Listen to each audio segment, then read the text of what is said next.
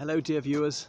I'm George from Ireland, and um, here behind me you can see where um, Mustafa Reshid Pasha lived um, for uh, a few years in the 1830s.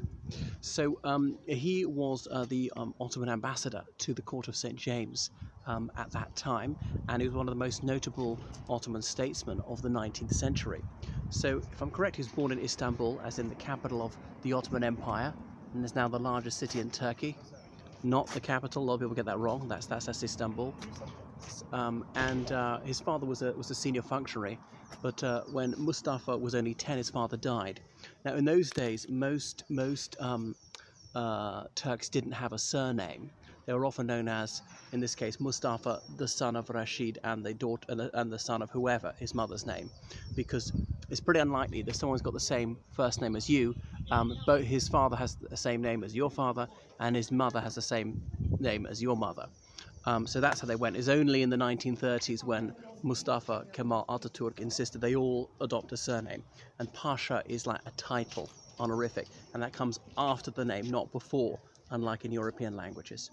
Um, anyhow, so he was at a madrasa, a religious school, thinking he'd be a mullah, but did, that didn't happen. He entered the civil service and he was rapidly promoted. He was in, he was in Greece, um, ruling one of the counties there at the time of the uh, uh, Greek War of Independence, which obviously didn't go way of, of, of, for the Ottoman of the Ottoman Empire, and Yunanistan, as the Turks called it, became independent. Uh, in, in most Muslim countries, it's called Yunanistan. Um, and some of the Egyptians, nominally part of the part of the Ottoman Empire, even took the side of the side of the Greek insurgents. So that was a serious reverse, reverse for them. And really, from there, from then on, it was just decline after decline for the Ottoman Empire. But it was still a formidable power um, uh, in the early 19th century. And now, um, Mustafa Rashid was one of the first to perceive that the Ottoman Empire would not long survive if it didn't have a mighty ally, and he sought to forge alliances with uh, the United Kingdom.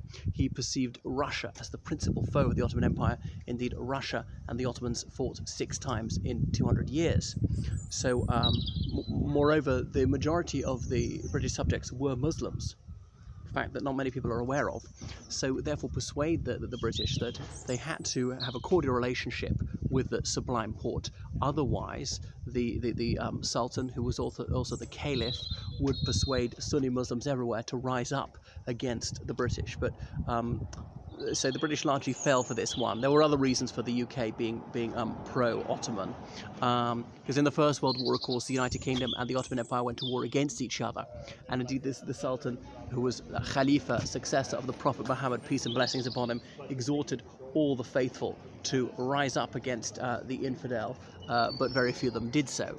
Um, anyhow, so the, the, his, his sway amongst Sunni Muslims around the world was greatly exaggerated. He didn't have that with Shia Muslims. So um, the British wanted to prevent the Russians getting a warm water port, and so not much has changed. Obviously, the, the Russian military has been has been in Syria for decades, uh, even in the height of the Cold War, when it was the Soviet Navy, not the Russian Navy. Um, Anyway, so he was he was sent abroad as ambassador to Paris, a post he held thrice. Uh, he, he spoke fairly fluent French, and that was the language of diplomacy. So when he was here, mostly speaking, um, mostly speaking uh, French to British diplomats and politicians, not English. Uh, he had a very good relationship with Lord Ponsonby, a key courtier, an Irishman, and later on with Viscount Palmerston when he was Prime Minister. And that was crucial in, in, in um, strengthening relations between the British Empire and the Ottoman Empire in the run-up to the uh, to the uh, Crimean War. Um, there's a whole accusation that Russia had broken the Treaty of Unkiar Skelessi, which forbade it from um, constructing fortifications on on the uh, uh, Crimean Peninsula. Now, I'm not sure if Russia acknowledged when they built them. It might have been the typical uh, Russian claim. Oh no, absolutely not. It's blindingly obvious, but what you're seeing is not there. Um, anyway, so the Ottoman Empire was fighting against Russia. It was also fighting against in, in Wallachia, as in as in Romania. Um, and uh, the, the French and the Piedmontese indeed joined the Ottoman side as well. Um, Austria-Hungary, well, sorry, the Austrian Empire was neutral, supposed to be a Russian ally, and then signaled they come in against the Russians, and that's why the, the Russians sort of backed down, even though they lost. Also, Nicholas I had died. His brother Alexander II came in, who was much more amenable to making peace. Um, so back at home, uh, Mustafa Reshid, uh, he uh, realized that the state was badly in need of reform, but issued um, uh, the the um, Edict of Gülhane, Gülhane, as in um, Rose Garden, not the White House Rose Garden, about wholesale reform began Tanzimat, a uh, reform process that was going on for about 27 years, long after his death. Um, because uh, their bureaucratic system was Byzantine in its complexity, it was sclerotic, it was nepotistic, and there was a great deal of peculation.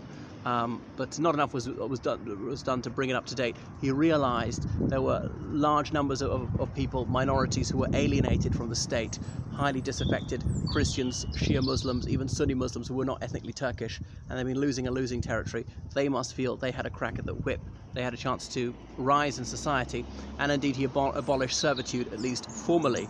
Um, so that was he died of a heart attack in, in Istanbul, and indeed he is buried there. So he married twice. He had five sons. I'm not sure if he sure he had any daughters because, well, maybe daughters don't count, or it could have been he just genuinely didn't have daughters.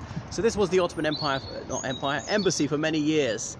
An, an 1811 building by a notable architect, stuccoed. I forget who, who it was. Here on Bryanston Square.